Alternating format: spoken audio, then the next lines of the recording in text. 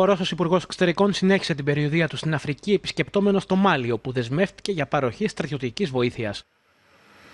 Όπως είπε ο Σεργέη Λαυρόφ, Μόσχα και Μπαμάκο έχουν συμμαχήσει κατά των ένοπλων ομάδων και της τρομοκρατίας στη χώρα της Αφρικής.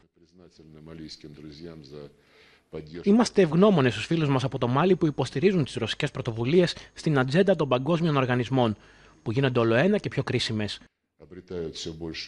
Αναφέρομαι στη μάχη κατά της ενδυνάμωσης του ναζισμού εναντίον μιας κούρσας εξοπλισμών στο διάστημα και για την ανάγκη να εγκαταλειφθεί οριστικά η τοποθέτηση όπλων στο διάστημα.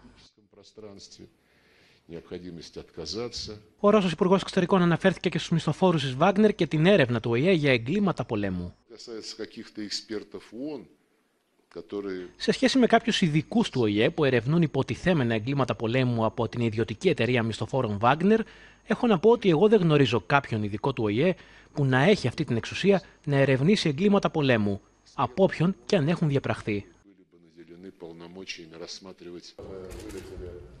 Μετά το Μάλι, ο Σεργέη Λαυρόφ μετέβη στη Μαυριτανία, όπου τον υποδέχτηκε ο ομόλογός του, αλλά και στο Σουδάν.